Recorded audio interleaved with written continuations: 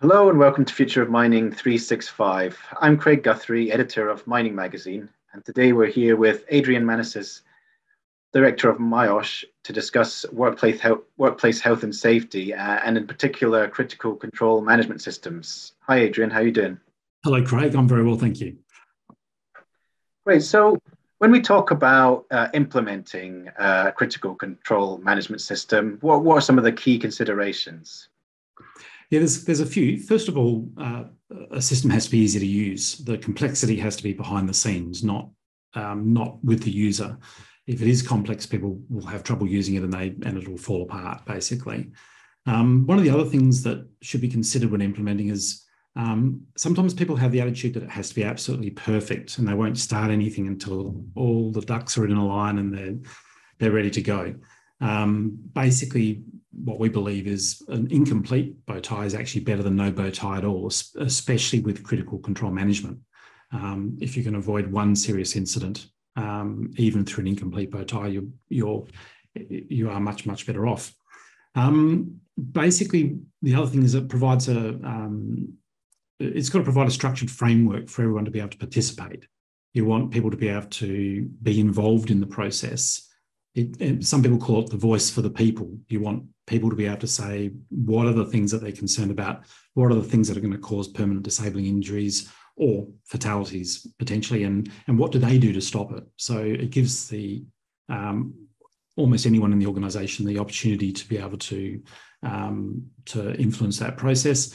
And the other thing that I consider is a key consideration is the system should fit in with everyday processes it shouldn't add to your existing workload. Um, and people are busy enough already. They don't want to be adding extra things and employing more people just to do these tasks. And it's not necessary. So the system should be able to just fit in with what you do already, with some minor modifications, of course.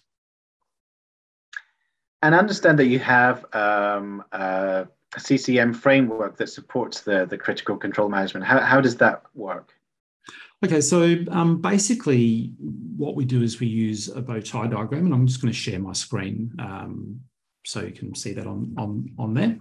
Um, essentially what we're doing is we're using uh, a framework which allows you to identify your, your material unwanted events, the hazards associated with those, and you can simply literally just type straight into these boxes, add your causes, add your controls um, as well as your um, consequences and mitigating controls. So those familiar with the bow tie diagram would um, be aware that there's a cause, there's usually controls that prevent the unwanted event from occurring. The event, if the event occurs, then there's mitigating controls, and then that hopefully lessens the impact if um, if the event actually has occurred. So if we look at a um, say a, a bow tie, a completed bow tie, for example, um, what you'll see is, again, the causes, the controls, the event, what the mitigating controls, and then the consequences. Now, the, the framework that we've put in place is not just a pretty diagram, which you see with a lot of bow ties. So a lot of people just look at these and then they put them into a filing cabinet, never to be seen again once they've developed them. So what we're looking at here is an ongoing process that people can use in their workforce. So you can identify by simply clicking on buttons um, what are, are there any control issues? And you can see at the moment, if there were any, they'd be highlighted. So there's not. You can also show what are the critical controls. The other aspect behind it is each of these boxes isn't just a box on the screen. Each of these boxes represent a whole lot of uh, basically a, a, document within the system. So each, uh, each of these things, whether it's a control or whether it's the actual event itself, have a workflow behind them. So if I click on that link there, what you'll see is it opens up basically the um, unwanted event in a separate window. And then basically it'll have a series of um, information about the actual event itself. So you'll be able to see what the controls are in place. Uh, if I scroll down through there, you can see what the preventative controls are, what the mitigating controls are, and so forth. So these documents that fit behind the diagram, basically they can have workflow to make sure that there's a, an event owner or a critical risk owner, um, someone who reviews it on a regular basis. It can have uh, it can have processes where it can basically say this needs to be reviewed on an annual or whatever basis it needs to be. So as you click on each of these items, you can actually, in fact, as you create each of these items, it creates that backend document and then you can modify that document as, as required. The, um, the framework, I guess, allows you to have this bow tie diagram on the screen, um, be it a complete one like this or an empty one that I had before, which allows you to have workshops and put it, put it onto a board, allow people to brainstorm what are the controls, what are the um, um, what are the causes, consequences, and so forth. Wow, looks like a cool piece of software. And and and how does it um, once these controls have been established? How does it sort of verify them on an ongoing basis? Yeah, that's a um, that's an important part of it. And in fact, if you don't do the verifications, there's probably not a lot of point in actually having the bow tie in there in the first place and doing this process. So what you need to be doing is you need to be basically verifying or do control verifications to make sure that each of these things are working.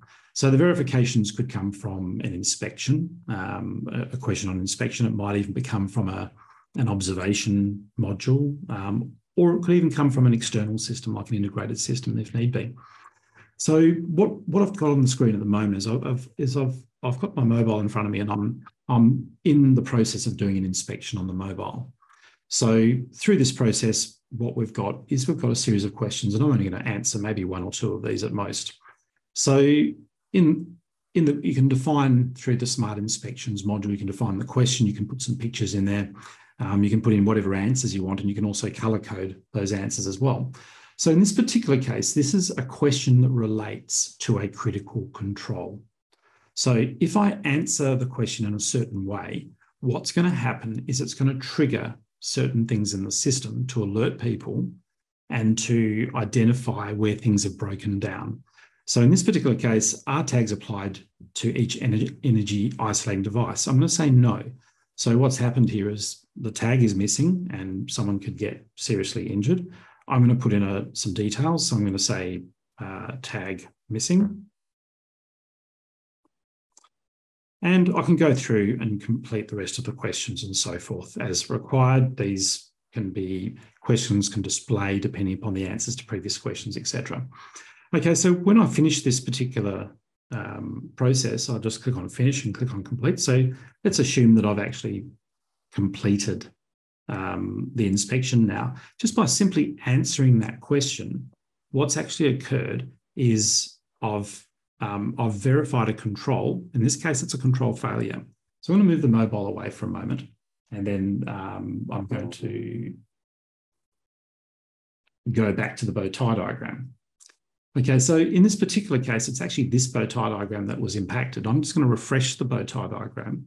And once I've done, once I've done that, we can then look at the bow tie and we can see whether there are any control issues. So when I click on control issue, you can now see that that's actually highlighted that we've got a control issue.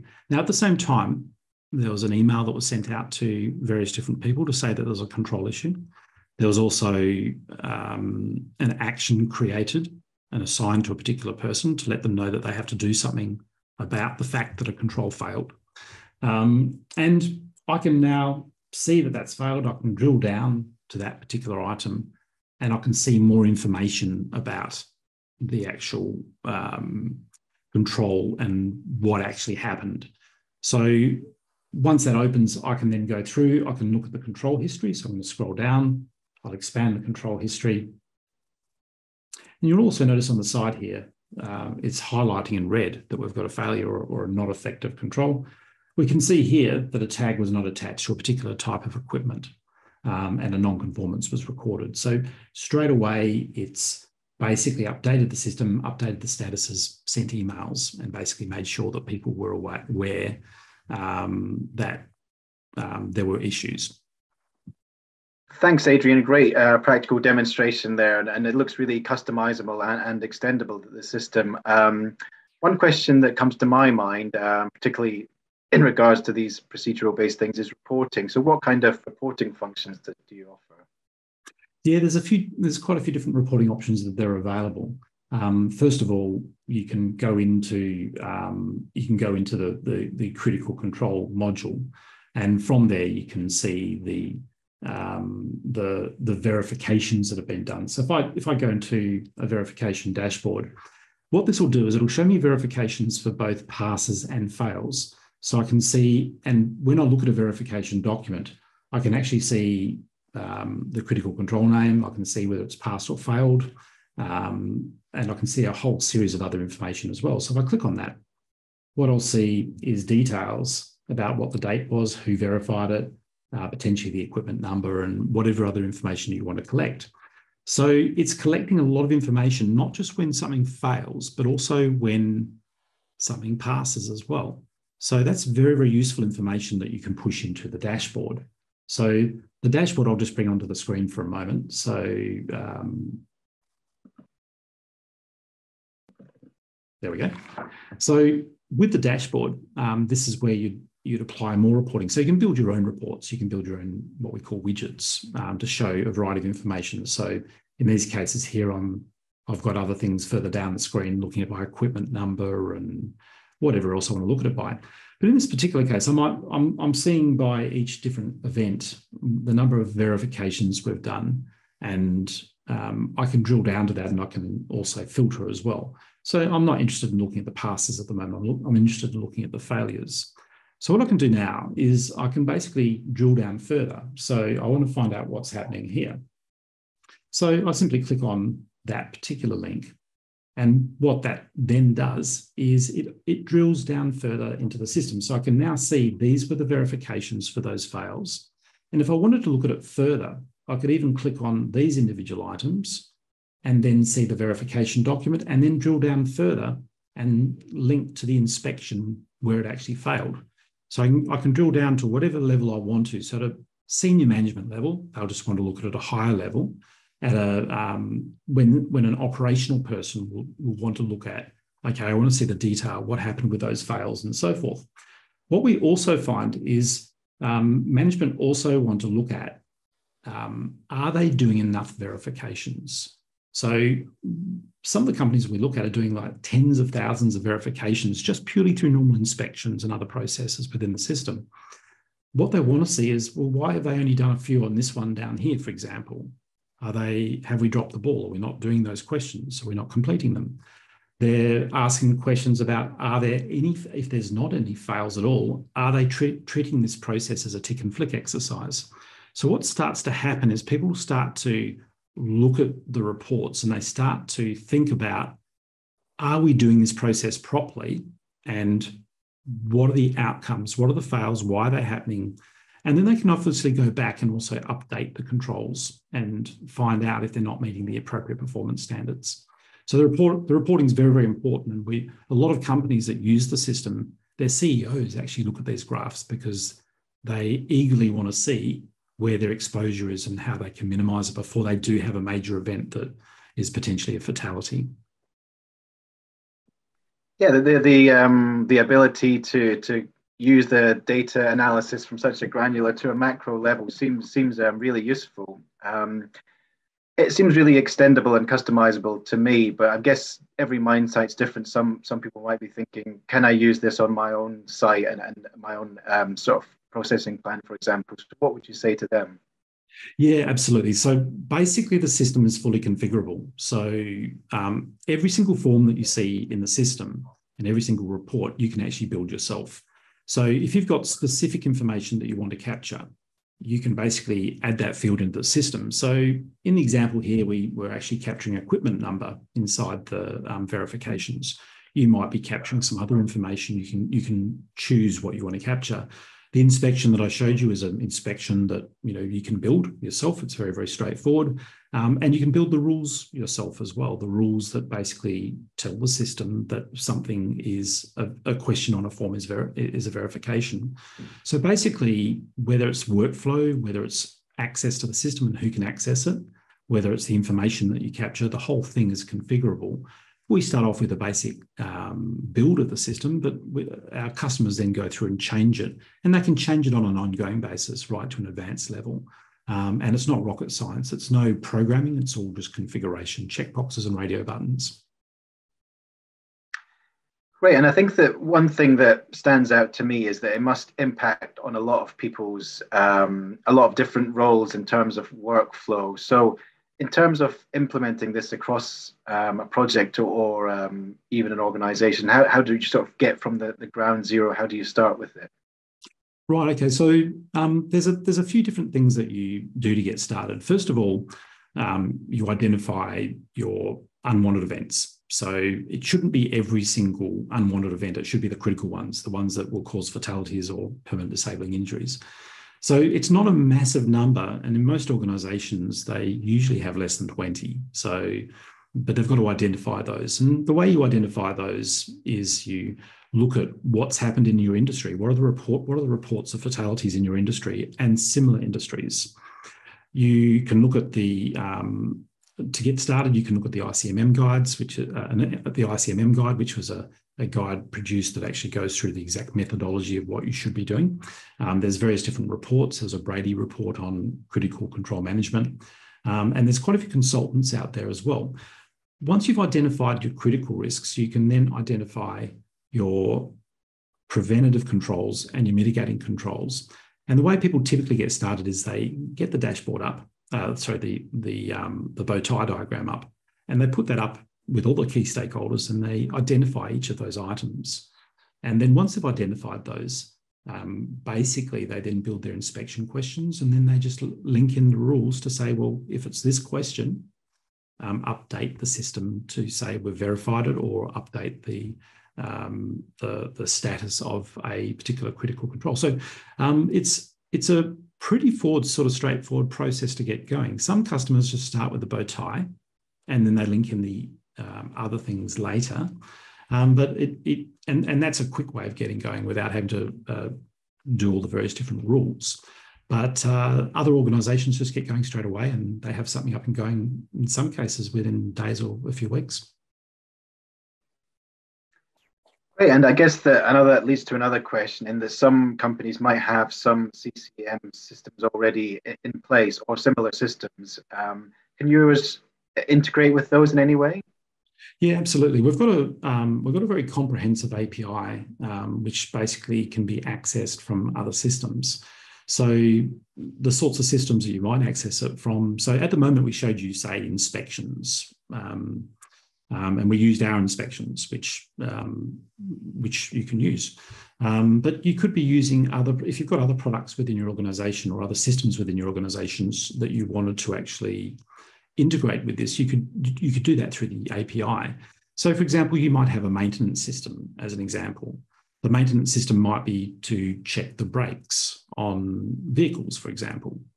And that's part of a check that's done as a standard sort of maintenance routine. So when they put that into their maintenance system, the maintenance system could talk directly to the CCM module within myosh and then basically update just what you saw that I did there. Um, so the, the changes don't have to come um, from a module that belongs to myosh. They can come from other places um, as long as the system can consume APIs, and almost all systems can do that these days.